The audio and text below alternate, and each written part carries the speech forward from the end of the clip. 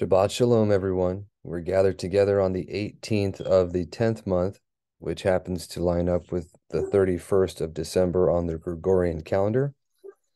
And for anyone that's following along or paying attention to it, Hanukkah, the real Hanukkah, will be next week on the Shabbat, starting then.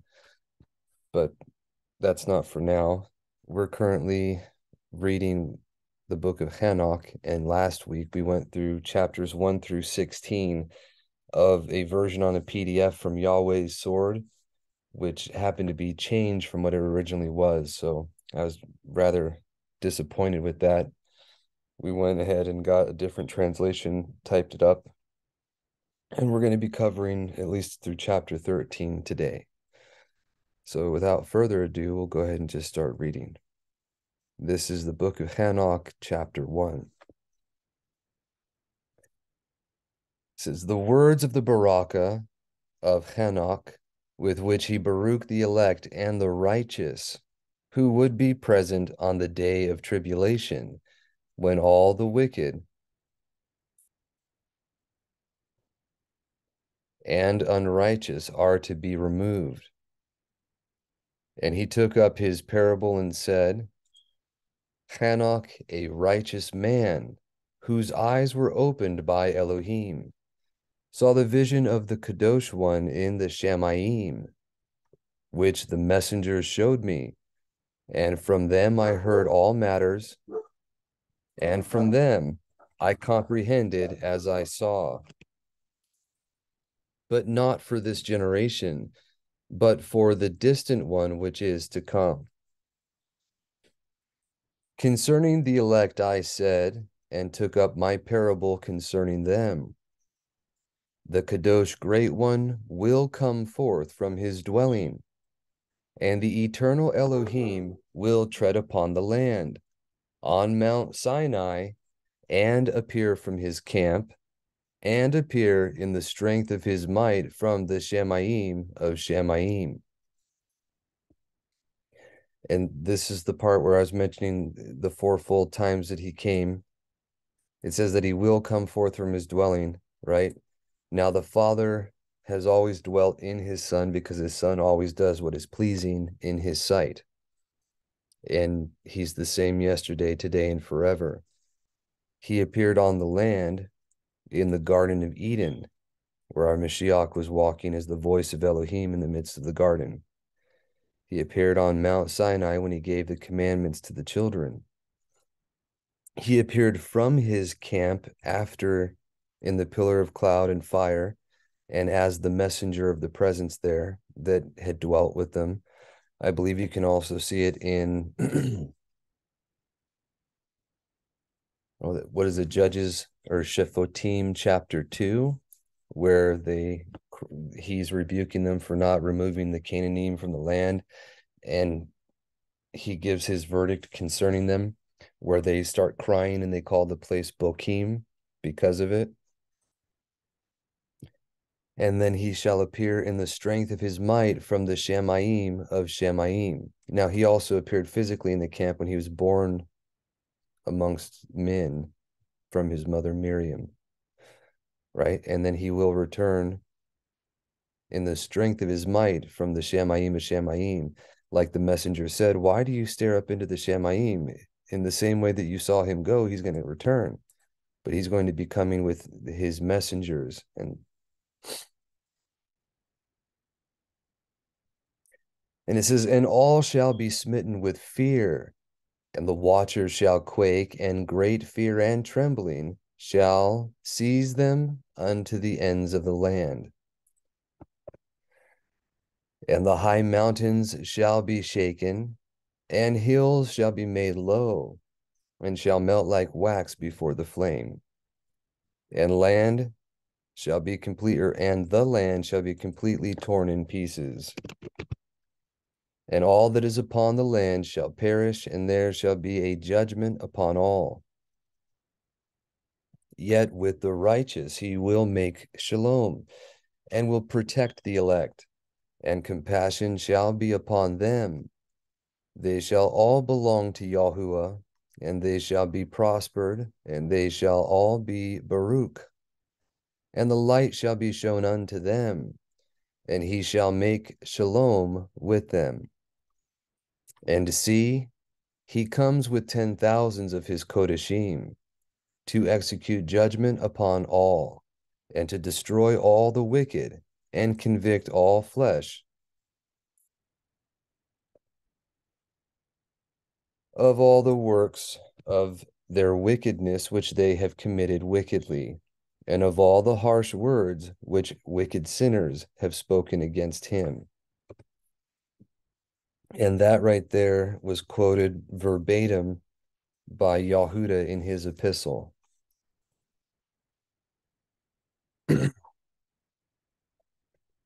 Chapter 2.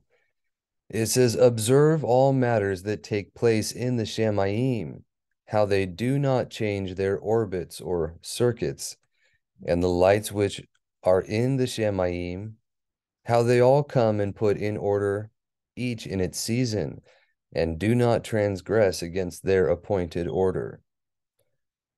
Again, this is a refutation for anyone that thinks that the, the luminaries are wayward now and they don't do his will.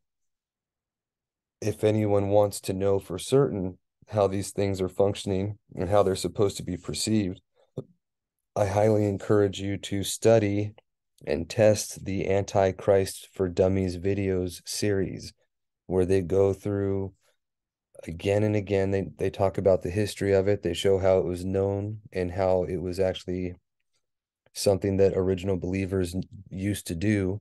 It's what the Vatican hijacked and why they have uh, telescopes and observatories all over looking at the stars, not because there's space in this fictitious millions of light years and all these things going around, but because they're watching the luminaries to find out what's going on.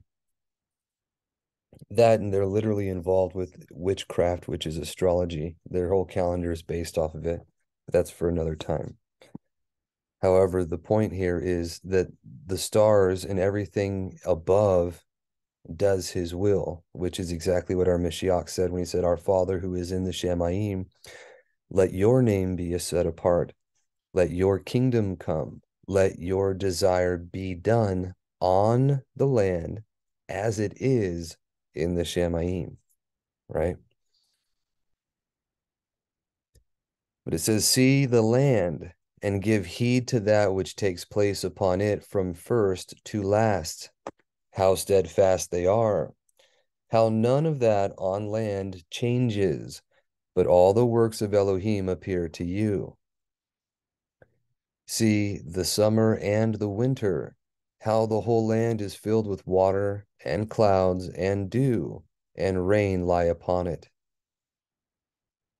And these things are also expounded on later on in this book, as well as Shalomo in Kohelet or Ecclesiastes talks about the water courses and the sun. So there's different places where you can see these things being played out. Uh, I highly encourage you guys to take the time to look at that. There's also, I believe we mentioned it before, but there's a scroll in the Dead Sea Scrolls called the Divination Scroll, and it has a list of the moon and all the different zodiac signs or the constellations that it inhabits, what they call the mansions of the moon. It goes through the cycle of those, and it also talks about if you hear lightning in a certain place or in a certain constellation or whatever, then this foretells that event. Or if you hear this thing going on, or if there's an earthquake there, then it's telling a different event. And it's a type and shadow of the things that you can find in Revelation in a smaller scale because there's nothing that hasn't been done before. There's nothing new under the sun. And he he does things in a microcosm for those in the land and then a macrocosm or a larger scale for the world afterwards. Chapter 3 It says, Observe and see how all the trees seem as though they had withered and shed all their leaves, except 14 trees who do not lose their foliage, but retain the old foliage from two to three years till the new comes. And again, observe the days of the summer, how the sun is above the land over against it, and you seek shade and shelter because of the heat of the sun. And the land also burns with growing heat, so that you cannot tread on the land or on the rock because of the heat. Observe how the trees cover themselves with green leaves and bear fruit. Therefore, give heed and know with regard to all his works, and recognize how he that lives forever has made them so. Literally, he's saying, look at the truth of how things actually are and realize his works and what he does in regard to things. And this is why I was trying to tell you, he speaks in parables. There's nothing that he says that isn't in parables. And you can see what does he say about trees? What does he say about the stars? What does he say about the waters? How do they actually react or behave? It's all to teach man knowledge. Right. So the more you look at these things, the more it's going to make sense that he is all powerful and he's made everything in chokmah or wisdom, right? a perfect example the dietary laws. You can read about them in Leviticus and in Deuteronomy or Devarim. And then the explanation for how they're supposed to be comprehended can be found in the letter of Aristeas, which is about the making of the Septuagint, the epistle of Barnabas. And there's some allusions to it, and it speaks about it somewhat in the recognitions of Clement, but the other two go into more detail and you can see how the unclean animals and the ones that you're supposed to completely abominate or just you'll unclean until evening and all the parables and things involved in that it regards how those creatures behave the type of characteristics they have that we're not to emulate. So it's something to think about and you can do that with everything. Like i said the waters the light the the trees how the fruits grow and develop the ways that the fruits are promulgated how the seed is spread, right? There's a lot of different things to keep in mind there. Verse 2, it says, And all his works go on from year to year forever, and all the tasks which they accomplish for him, and their tasks do not change, but according to how Elohim has ordained, so it is done. And to see how the seas and the rivers in the same way accomplish and do not change their tasks from his commandments. Yet you, you have not been steadfast, nor done the commandments of Yahuwah. But you have turned away and spoken proud and harsh words with your impure mouths against his greatness. O you hard hearted, you shall find no shalom. Therefore, you shall loathe your days and the years of your life shall perish, and the years of your destruction shall be multiplied in eternal loathing, and you shall find no compassion. Compassion is given to the ones who show it. Mercy to the merciful, forgiveness to those who are loving and forgive others. Right? Something to keep in mind. Everyone's going to get according to what they deserve, and it's all based on how we actually behave or what we choose to do. In those days you shall make your names an eternal loathing unto all the righteous, and by you all who curse shall curse, and all the righteous shall rejoice and there shall be forgiveness of sins and every compassion and shalom and patience. There shall be deliverance unto them, a pleasant light. And for all of you sinners there shall be no deliverance, but on you all a curse shall abide. But for the elect there shall be light and joy and shalom, and they shall inherit the land.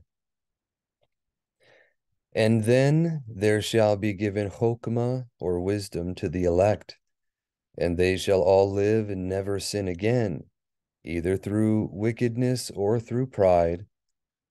That might be inequity, which is willing or intentional evil.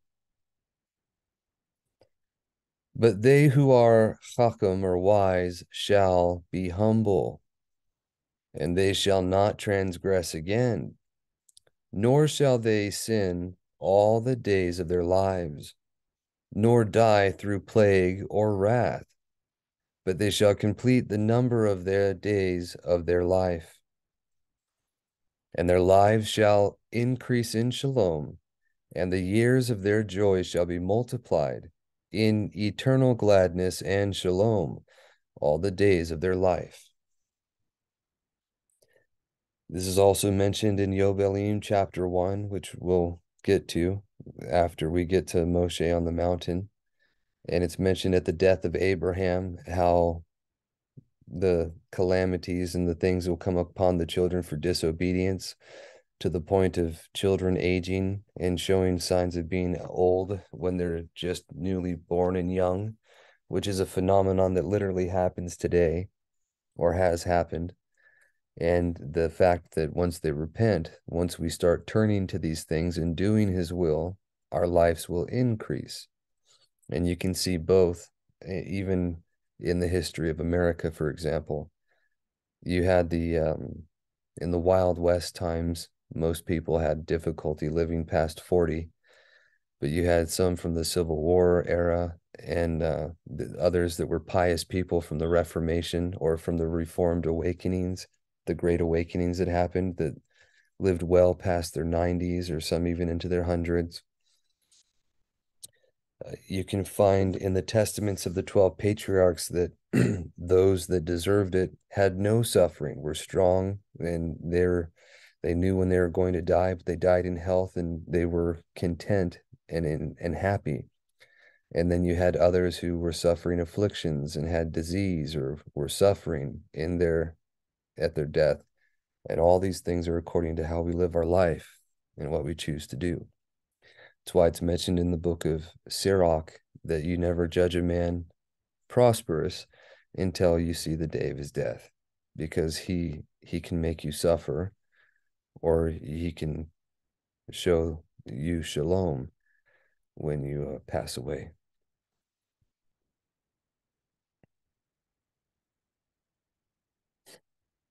Okay, chapter 6.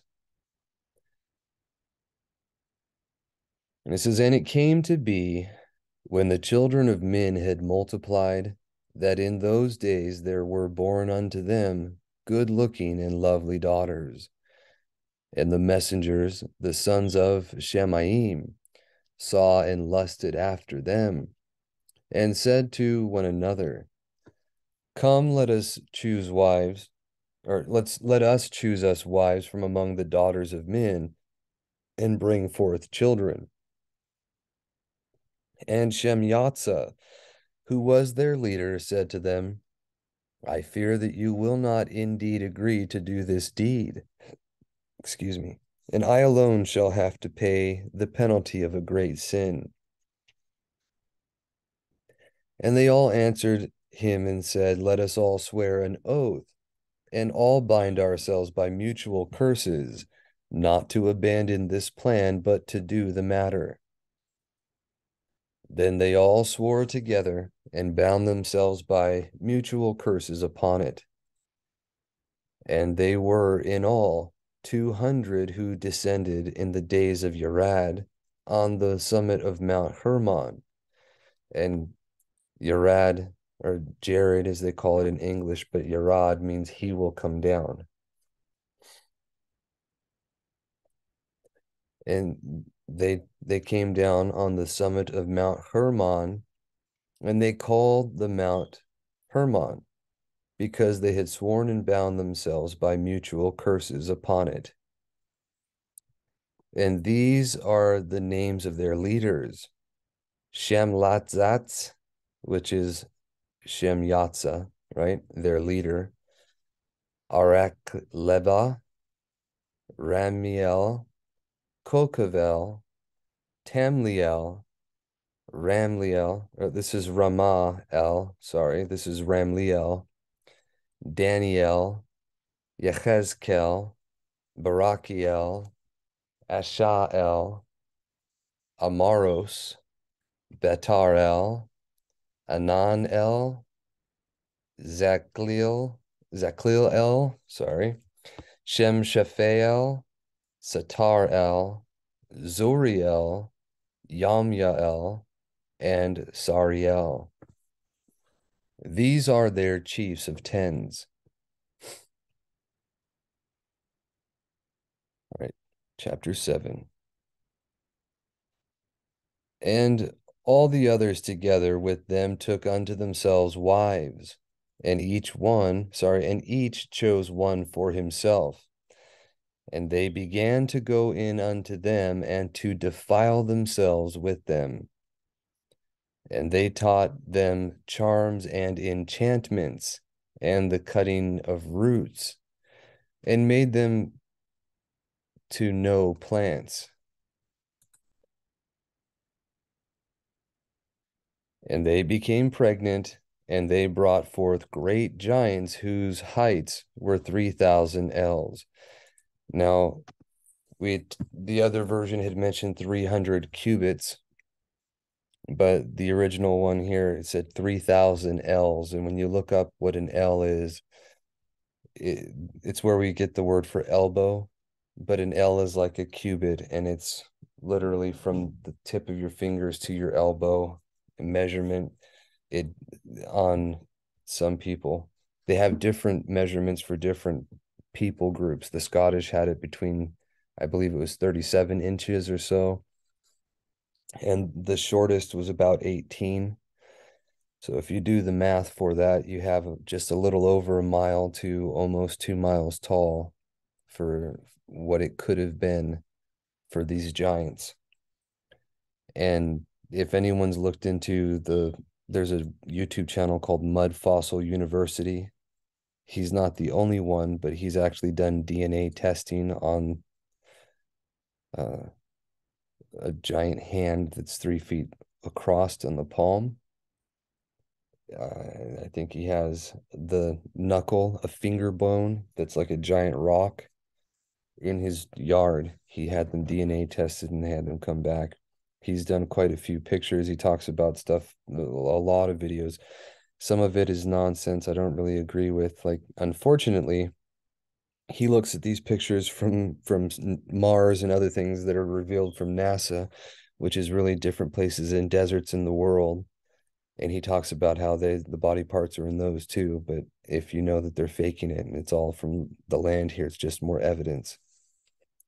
So I, I can't agree with everything the man promotes or says because he's not a strict scripture believer but you can look at the work and see for yourselves where there's literal body parts of giants and other things that are easily seen and, and actually DNA tested now.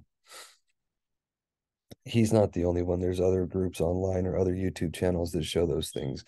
But the idea of giants being over a mile tall seems unbelievable until you actually see the evidence of it, but it's still there. Anyways, it says they're giants whose heights were 1.2 to 1.75 miles tall, who consumed all the acquisitions of men. This probably helped in making them the way they were. It could be an explanation for why there was giants after the flood as well, because they were all involved with magic if you recall. But there's nothing specific in the scriptures that, that say that. That this was a direct cause of the enchantments they were doing. I don't know for certain. But it says, Who consumed all the acquisitions of men, and when men could no longer sustain them, the giants turned against them and devoured mankind. And they began to sin against birds and beasts and reptiles and fish and to devour one another's flesh. And they drank blood. Now, again, in the Dead Sea Scrolls, there are some fragments of a writing called the Book of the Giants, which was also known in antiquity in different languages, but there was also in fragments and in there you have more detail about the watchers how they changed shape into different animals 200 of each kind and mated with them to create monsters as well as the giants and this is what it means when it, they sinned against like trolls i'm sorry where trolls came from. The idea of trolls. Quite possibly. And some of the trolls, if you look at it, it's, it's rock-like giants. Yeah, there I was just looking at a video this lady was putting out about North Norse mythology and some other things like that. Irish uh, myths and things of that nature with trolls and how they became like mountains. Same thing with Indians too. But you have there's islands where there's a giant dolphin that was an island, a giant horse that you can still see, a giant elephant, a giant eagle at the top of a rock that's turned into stone. So um the, the there's a dragon in the north of Africa that's a mountain range now. That's what these things are talking about as well. This is, and then the land laid accusation against the lawless ones. Chapter 8. And Azazel taught men to make swords and knives and shields and breastplates, and made known to them the metals of the earth and the art of working them. This is why Tubal Cain, he was not the inventor of it, but he was teaching people it. Okay. And bracelets and ornaments and the use of antimony and the adorning of the eyelids and all kinds of precious stones and all coloring tinctures and alchemy. Now, when our Mashiach comes again, he's going to have us put our, our swords into plowshares, shields, right? The metals are going to melt like wax before his presence when he comes these things are spoken because of what we've used them for as taught by the watchers here as azazel in particular. This is why all sins attributed to him. But if you pay careful attention to the things that they introduced to the men and what became of them ornaments and bracelets to entice men and women to lust after each other right? The adorning of the eyelids using makeup changing what our creator called good. All right using precious stones and, and different things for inequality. That's why all these things were counteracted with his instructions, if you recall. And there arose much wickedness, and they committed whoring, and they were led astray, and became corrupt in all their ways. Shemyatzah taught enchantments and root cuttings. Armaros, the resolving of enchantments. So enchantments like what you can see in the testament of Yahusuf, where the uh, Potiphar's wife tries to use an enchantment in a, a food that he she tries to get to a love potion in it to get him to be enticed after her right? Root cuttings. We'll go into that more later. But Amaros, the resolving of enchantment, so the counteracting of these things as a pretext for other than belief. The true belief, if you can recall, or if you've read the testament of Yahusuf, he was a believer walking piously, and magic had no effect on him. Just like all believers after a Mashiach came, demons and their witchcraft had no power on them. Even after these times into modern times, a Bible believing people that were praying could thwart witchcraft covens and cast the casting of spells. It was something that was witnessed by John Todd, if anyone's familiar with him. If not, I, I encourage you to look him up. He he was in the Illuminati. He was a generational witchcraft and he came out of that to become a believer and he exposed a lot of the stuff they were doing but there was a witchcraft coven or multiple covens that were trying to cast a spell and there was just a group of people praying that thwarted that and the witches acknowledged that they they couldn't have their stuff work because of those christians praying. That was before he had made known his name or we had the full truth that we have now but he doesn't hold against you what you're incapable of knowing and the Jacob says that the fervent prayers of a righteous man accomplishes much. So while there is the truth in believers that these things have no power over them, Satan, especially at the end of the ages, makes a mockery of these things. That's why you have exorcisms in Catholicism. That's why you have exorcisms in witchcraft. And if you listen to John Todd, he says the only difference between those two is about six words. But Barakiel taught astrology, which is refuted quite nicely in the recognitions of Clement by Clement. And it's also repudiated and spoken against by Martin Luther when he was alive. Kokavel, the constellations. Yechezkel, the knowledge of the clouds. Arakiel, the signs of the land. Shamshiel, the signs of the sun. And Sariel, the course of the moon. And it also says in another version, and the deceptions of men. Now, if you're not familiar, all of these things are used like um, people will look at the different ways clouds are shaped and come up with ideas uh, of foretelling or prognostication. People will look at the signs in the land or things that animals or birds do and come up with prognostications. Same thing with the sun and the moon and different things like that.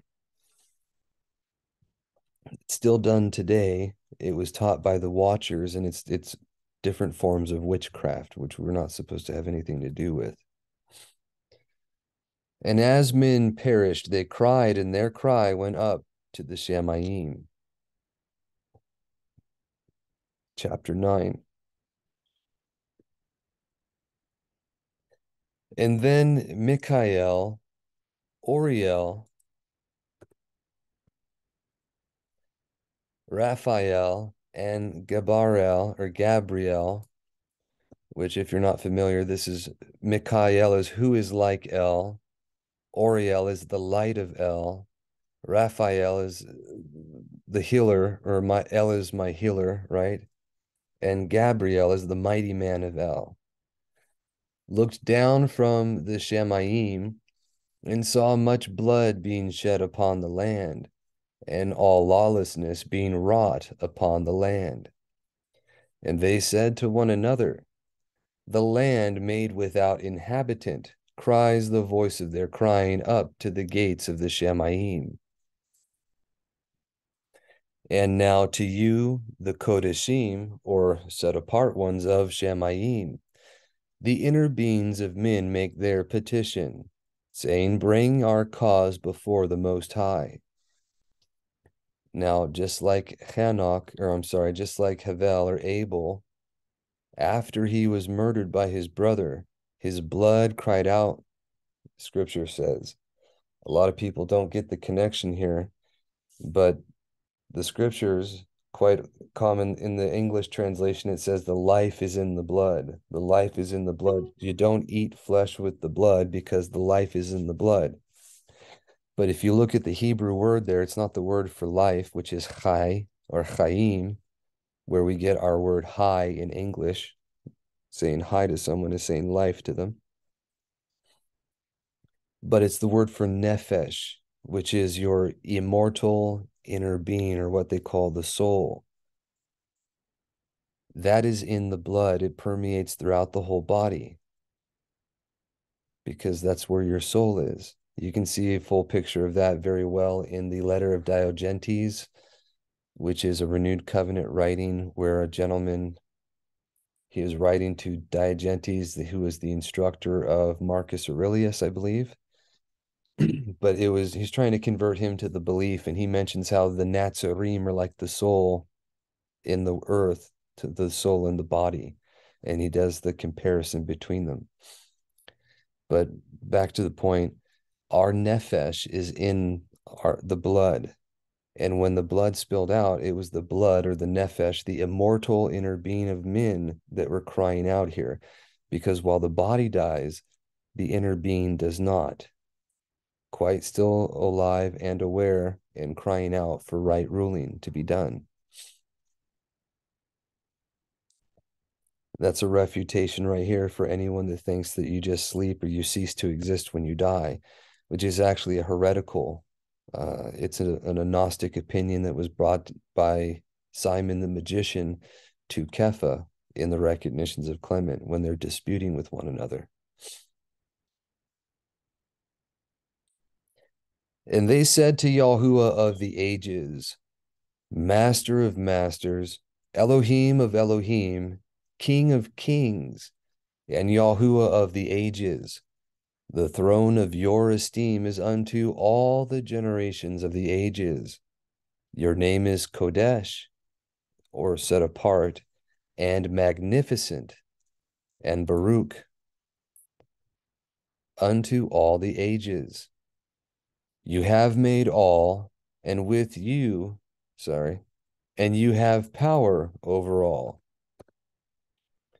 And all are naked and open in your sight, and you see all matters, and none can hide himself from you. You see what Azazel has done, who taught all unrighteousness upon the land, and revealed the eternal secrets which are in the Shemaim, which men were striving to learn. And Shemyatza, to whom you have given authority to rule over his associates, and they have gone to the daughters of men upon the land, and have slept with the women, and have defiled themselves, and revealed to them all kinds of sins. And the women have borne giants, and by this the whole land has been filled with blood and unrighteousness. And now, see, the inner beings of those who have died are crying out and making their petition to the gates of the Shamayim. And their lamentations have ascended and cannot cease because of the lawless deeds which are wrought on the land. and you know all matters before they come to pass. And you see these, and you allow them, and you do not say to us what we are to do to them in regard to these.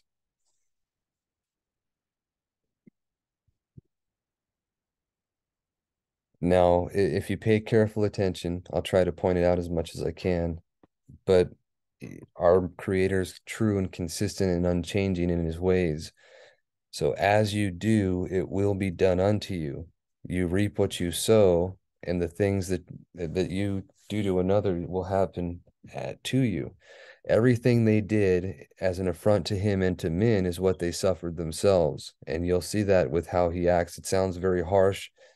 The judgment against them is extreme, but if you think about it and if you take the time to consider what it was they did, then it's only them doing getting exactly what they did to another done to them, which is still a horrible thing. But here we go. This is chapter 10. it says, Then said the Most High, the Kadosh and Great One spoke and sent Oriel to the son of Lamech and said to him, Go to Noach and tell him in my name, hide yourself, and reveal to him the end of that which is approaching. For the whole land will be destroyed, and the flood is about to come upon the whole land, and will destroy all that is on it. And now instruct him that he may escape, and his seed may be preserved for all the generations of the world. And again Yahuwah said to Raphael, Bind Azazel hand and foot, and cast him into the darkness, and make an opening in the desert which is in Dudael, and cast him in there and place upon him rough and jagged rocks, and cover him with darkness, and let him abide there forever, and cover his face that he may not see the light. And on the day of the great judgment, he shall be cast into the fire. Again, think of the things that he introduced into the lives of men. All right, rough and jagged rocks covered in darkness. These are the things that we suffer and we afflict each other, weapons of war, and things that cause inequality and other evils that stem from them. And on the day of the great judgment, he shall already he shall be cast into the fire. and heal the land which the messengers have corrupted, and proclaim the healing of the land, that they may heal the plague, and that all the children of men may not perish through all the secrets that the watchers have disclosed and have taught their sons and the whole land has been corrupted through the works that were taught by Azazel. To him ascribe all sin.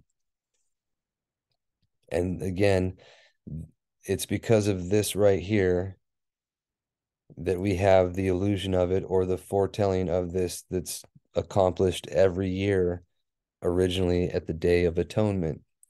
When, if you read about the instructions for it, the Kohen would have two goats. One would be the goat of Yahuwah, which would be offered as his offering, and the other would be the Azazel goat, which all the people would put their sins on it, and it would be sent off into the wilderness.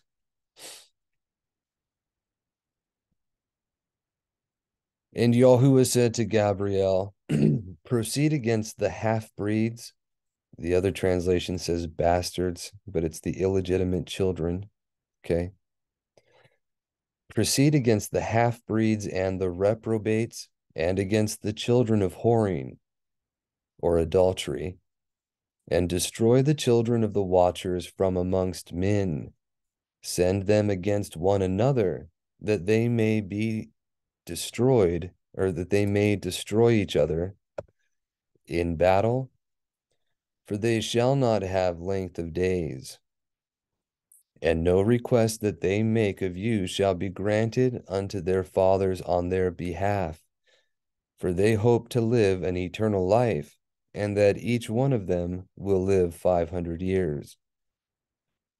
So it doesn't go into detail here, but the watchers were making petitions and, and asking for things that we'll we'll read about in a little bit. But the things that they were asking for were not going to be granted because when men were begging them and asking petition they were ignored. And they gave no request without mercy. So they received none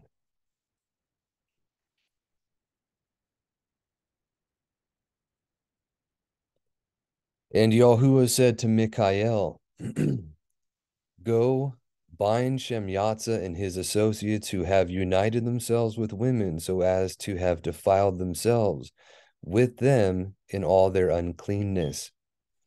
And when their sons have slain one another, and when they have seen the destruction of their beloved ones, bind them fast for seventy generations under the land, till the day of their judgment and of their complete end till the judgment that is forever and ever is concluded. In those days they shall be led off to the abyss of the fire, and to the torment and the prison in which they shall be confined forever. Now, before we move on, real quick, this mentions 70 generations. A lot of people make a lot of different opinions about that. A generation doesn't last a thousand years anymore. All right. And 70 would have been 70,000 years. There, there's a lot of different ideas that come about with this, but you have to remember we're reading a book that has carried down through history for thousands of years. And it's an abridged version at best of what was originally there. So sometimes you're going to find things that don't quite make sense or line up right. Excuse me. Another example is in the explanation of how the moon functions later on, where you don't really get the whole gist of it until you find the Dead Sea Scrolls. In there, they have many more scrolls that talk about the luminaries and the calendar and how it's supposed to function. And the, the moon goes through a three year cycle before it repeats itself. It's one of the signs that you're on track with the calendar is when there's a full moon on the first night of the year every third year. But we don't see that in Chanok. You, you see a little bit of a little bit of it talked about and then some error in the same way here you, find something where it mentions 70 generations, but you don't have context for anything else there. However, it mentions they're going to be there until the complete end, until the, the day of the great throne judgment, where they're brought up, judged, and tossed into the lake of fire. And you have a second witness of that very thing in the animal apocalypse later on. So that's where you have to use right judgment and you have to look at what you have multiple witnesses for and hold fast to the things that you can prove. With this, this is an ambiguous statement that could mean any number of things. So you can't take that and be dogmatic when you only have one witness. With the fact that they're going to be imprisoned until the, their judgment and then tossed into the lake of fire, you have two or more witnesses. So those are the things that you should hold to as true and not to the things that you cannot support with multiple witnesses. That, that's the whole point. And that's the whole point of studying to show yourself approved. It's not just in this instance, but every time you have something come up like that, including every opinion, just like you find with the 120 years mentioned at the flood, people make a lot of different doctrines about that, but in reality, it was given in the 480th year of Noah's life. And then when he was 600, the flood happened. And that goes on with what it was saying here that they wanted to live 500 years and have eternal life as an expectation, but it was not going to be granted to them. They got to live for 120, and the children are literally demons in the land until the the condemnation or the consummation of all things, in which they will be consigned to eternal fire and undying worms forever.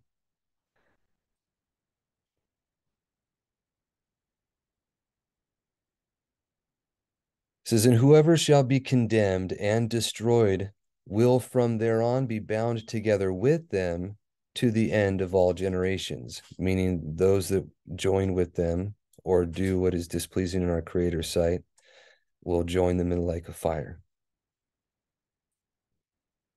And destroy all the inner beings of the reprobate and the children of the watchers, because they have wronged mankind and destroy all the wicked from the face of the land, and let every evil work come to an end, and let the plant of righteousness and truth appear forever. And it shall prove a baraka.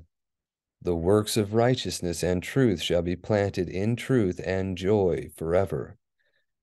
This plant of righteousness is mentioned in Yobelim. It it's mentioned by our Mashiach where he's the vine and we're the branches. It's mentioned in the Odes of Shalomo or Odes of Solomon, as it's called. It talks about how the planting is the work of Yahuwah and he's the gardener. Again, allusions that our Mashiach makes himself. So you can read about those to find more about this, but this is the first mention of it here. And then shall all the righteous escape, and shall live till they bring forth thousands of children, and all the days of their youth and their old age they shall complete in shalom. And then the whole land shall be tilled in righteousness, and shall be or and shall all be planted with trees and be full of baraka and all desirable trees shall be planted on it, and they shall plant vines on it, and the vine which they plant upon it shall yield wine in abundance. And as for all the seed which is sown on, upon it, each measure shall bear a thousand, and each measure of olives shall yield ten presses of oil.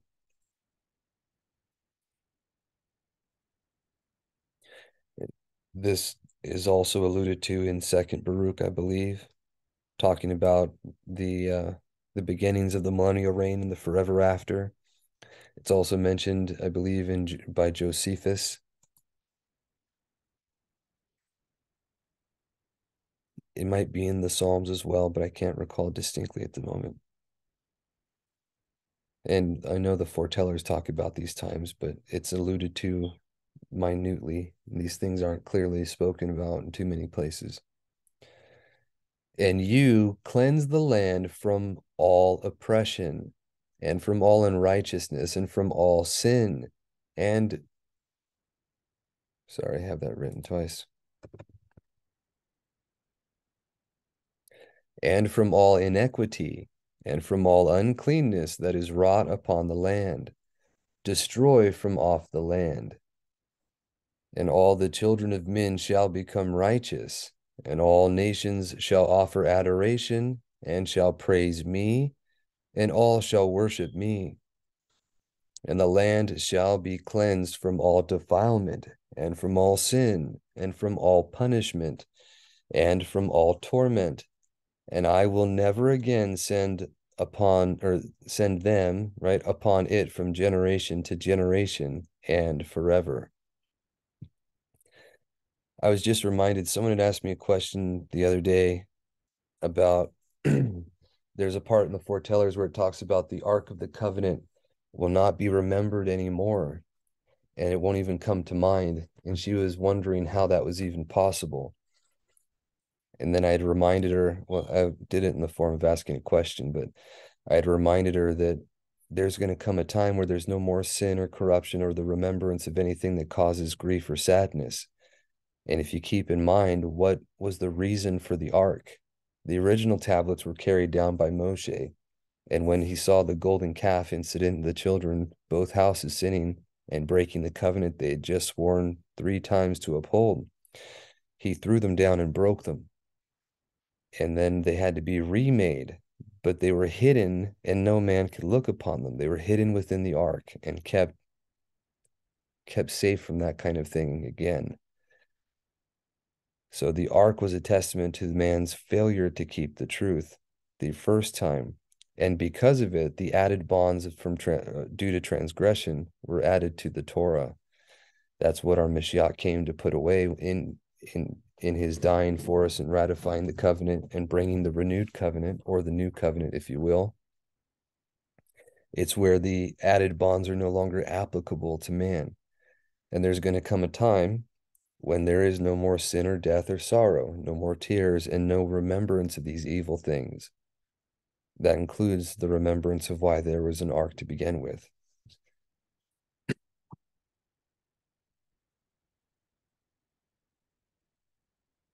chapter 11 says, And in those days I shall open the storerooms of Baraka, or blessing, which are in the Shemaim, so as to send them down upon the land over the work and labor of the children of men. And shalom and truth shall become partners together in all the days of the world and in all the generations of the world. This is also alluded to in the Dead Sea Scrolls from the Damascus document. The beginning of it's called the Exhortation. I believe it's in there, but there's the part where it talks about the two Ruachoth that rule over man. It says the truth and inequity are bound together right now, but it's going to come a time where the truth will reign supreme and the evil Ruach or the evil spirit will be removed from the world. And that's when truth will reign with shalom.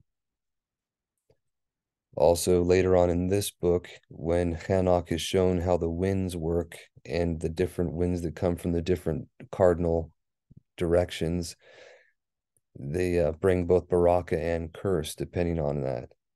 If you look at what the um, the ruach is wind, or the ruach is the wind, but the word for pestilence is the same as the word for the word. Dabir, dabar is a word, matter, or thing, but it's also the word that's used for plague or the pestilence that's brought on men for disobedience. In particular, You can see it when Dawid numbers the children after they entice or after they upset our creator from what they're doing. And because of that, he says that there's three things that can happen. Either you're going to run from your enemies for a while and be overcome, you're going to have uh, a famine in the land, or you're going to have pestilence. And Dawid says that let him and let all of them fall into the hand of Yahuwah and not into the hand of man. So he sends pestilence among them.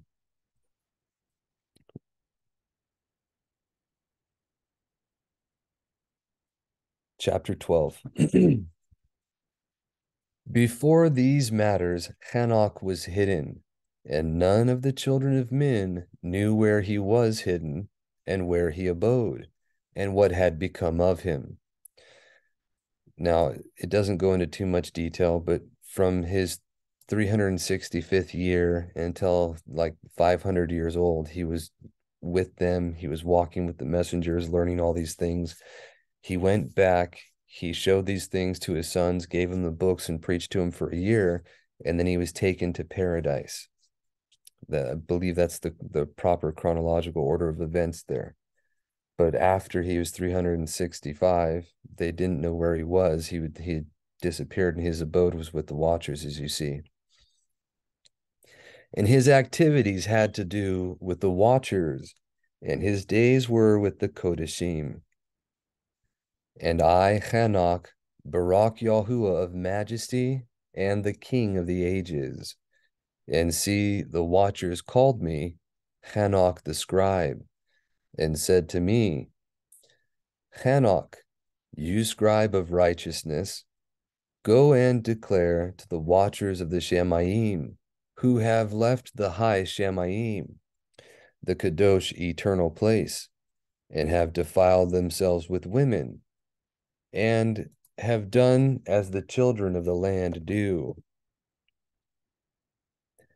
and have taken unto themselves wives. You have wrought great destruction on the land. Now, it's the children of the land that, that are our creators, as opposed to the children of Shamayim, which are the watchers. Okay. and you shall have no shalom, nor the forgiveness of sin. And inasmuch as they delight themselves in their children, the murder of their beloved ones shall they see, and over the destruction of their children shall they lament, and shall make supplication unto eternity, but compassion and shalom shall you not obtain. Again, that's a harsh sentence, but they're reaping what they sowed. Chapter 13. And Chanok went and said, Azazel, you have no shalom. A severe sentence has gone forth against you to put you in bonds and you shall not have toleration nor request granted to you, because of the unrighteousness which you have taught, and because of all the works of wickedness and unrighteousness and sin which you have shown men.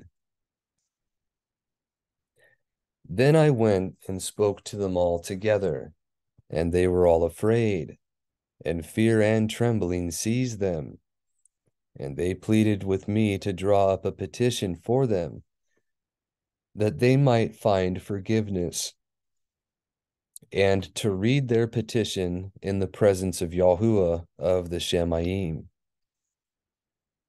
For from henceforth they could not speak nor raise their eyes unto Shamayim for the shame of their sins for which they had been condemned.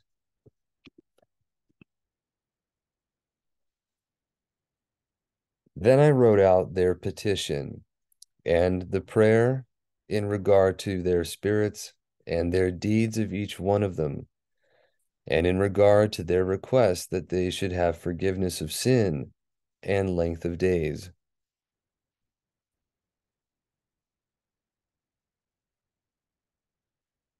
And I went off and sat down at the waters of Dan in the land of Dan to the southwest of Hermon. I read their petition till I fell asleep. And see, a dream came to me, and visions fell down upon me. And I saw visions of rebuke, and a voice came bidding to tell it to the sons of Shamayim and reprimand them.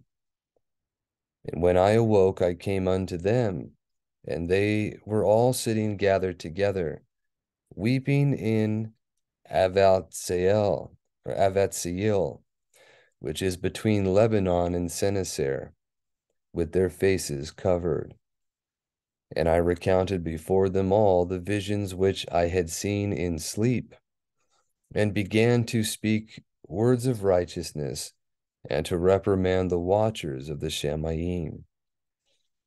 So again, when they were exalted and brought low, he was low and, and made exalted. And that's another sign of the the first shall be last and the last shall be first kind of thing, where he looks at the humble and lifts him up out of the dunghill. But we're going to be getting to that next week. We have to edit this more as we go. Uh, the the um, the version of the PDF that we had had was not it was tampered with or it was edited again and it's not very good anymore. So I'm sorry for that, but I'm willing you can see the difference between this one and the one that we read last week and you can judge for yourselves. However, that, that's all we have for today, and we will continue with the same stuff going in chapter 14 next week. So you all have a wonderful Shabbat, and we will talk to you then.